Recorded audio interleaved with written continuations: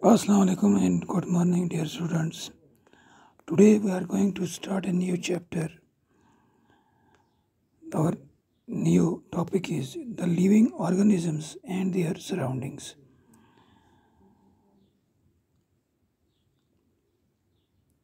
Let us recollect your ideas and remember the objects during a picnic or a trip you have seen. You might have come across a river or a pond, a forest or a mountain. You might, you might have seen many trees on the mountains, pines and deodars, very difficult from the ones near your home on the plains. You might have come across a river or a pond and seen many objects, animals quite different from your locality, and you would be wonder struck on seeing the different places, some cold places and some hot places, and animals and plants of various kinds.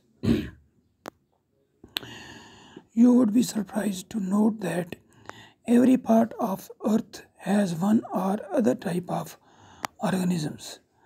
You will find living creatures even in the cupboards of your home and learn that tiny living organisms are found even in the openings of the volcanoes and the coldest arctic regions of the earth. So you conclude that living organisms of one locality are entirely different from other locality. So dear students, आप कभी picnic पर गए होंगे या किसी trip पर गए होंगे और वहाँ पर आपने मुख्तलफ़ ऑब्जेक्ट्स मुख्तलिफ़ चीज़ें देखी होंगी। ज़रा आप उन तमाम चीज़ों पर गौर करें उनको रिकलेक्ट करें उन आइडियाज़ को और आप याद करें कि आपने उस पिकनिक ट्रिप पर क्या क्या देखा था। आपने जाते हुए रास्ते में दरिया देखे होंगे, या कोई तालाब देखा होगा, जंगल या पहाड़ भी देखा होगा। और उन जंगलों में आपने मुख्तलफ़ तरह के दरख्त देखे होंगे। पहाड़ों पर, जिस तरह हमारे यहाँ इलाके में जो पहाड़ हैं, यहाँ पर पाइन और देवदार के दरख्त हैं। पाइन कहते हैं, जिसको हम उर्दू में कायल कहते हैं, पहाड़ी में हम उसको बिहाड़ कहते हैं। और देवदार जो है, वो तो आप समझते हैं देवदार इसको हम पहाड़ी में दियार भी कहते हैं। उसके अलावा और बहुत सारे किस्म के दरख्त आपने जंगलों में देखे हैं, जो आपके जो है गाँव में दरख्त होते हैं, उनसे काफ़ी मुख्तलफ होंगे। इसी तरह आपके रास्ते में कोई दरिया आया होगा या तालाब आया होगा, और उस दरिया या तालाब में आपने बहुत सारी चीज़ें देखी होंगी। कुछ ऐसे जानवर आपने देखे होंगे जो आपकी लोकेलिटी से मुख्तलिफ़ हैं, यानी आपके इलाके में नहीं पाए जाते हैं। और आप इन चीज़ों को इन जगहों में देख कर हैरान रह गए होंगे और कुछ जगह वहाँ पर ऐसी होंगी जो बहुत ठंडी होंगी और कुछ जगह हैं वो बहुत गर्म हैं। और वहाँ पर मुख्तलिफ़ किस्म के जानवर और प्लांट्स जो हैं एनिमल्स और प्लांट्स पाए जाते हैं। आप ये जानकर हैरान रह जाएँगे कि ज़मीन के हर हिस्से में मुख्तलिफ़ तरह की जानदार चीज़ें पाई जाती हैं और जो दूसरी जगहों पर नहीं होती हैं। आप के जो अलमारी होती है, कप बोर्ड होता है, आपको ये पता होना चाहिए कि उसमें भी आपको छोटी छोटी जो क्रिएचर्स नज़र आए मतलब होंगी वहाँ पर। कुछ ऐसी होंगी जो आप अपनी आँखों से भी नहीं देख सकते हैं। जैसे माइक्रो ऑर्गेनिजम्स हैं, जो हर जगह हवा में और पानी में ज़मीन पर पाए जाते हैं। उसके अलावा दुनिया में कुछ वॉल्केनोज हैं, जिसे हम आतिश फशां कहते हैं, जहाँ से लावा निकलता है। और वहाँ पर बहुत ज़्यादा टेम्परेचर होता है, जैसे वहाँ से आग निकलती है।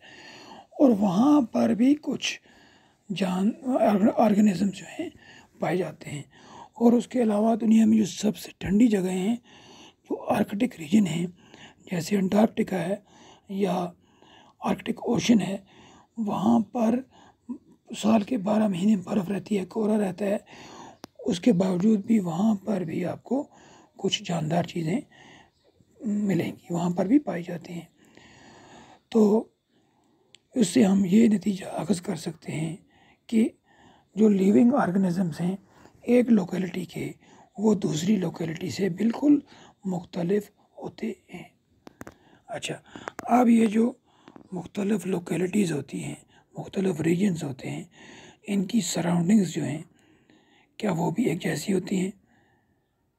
तो बिल्कुल नहीं सराउंडिंग्स भी बद अलग अलग किस्म की होती हैं। अगर आप देखें, कोई प्लेन एरिया है जिस तरह हमारे मुल्क में कुछ रियासतें हैं, जैसे उत्तर प्रदेश है, जैसे पंजाब है या वेस्ट बंगाल है, ये ऐसे इलाके हैं जो प्लेन्स में आते हैं। यानी वहाँ पर ज़मीन बिल्कुल प्लेन है और उस ज़मीन में किसी तरह के पत्थर आपको नज़र नहीं आएँगे। और वहाँ की जो पेड़ पौधे हैं, वो अलग तरह के हैं। उसकी बनस्बत अगर आप देखें जो दूसरी रियासतें जैसे हमारी रियासत है जम्मू व कश्मीर।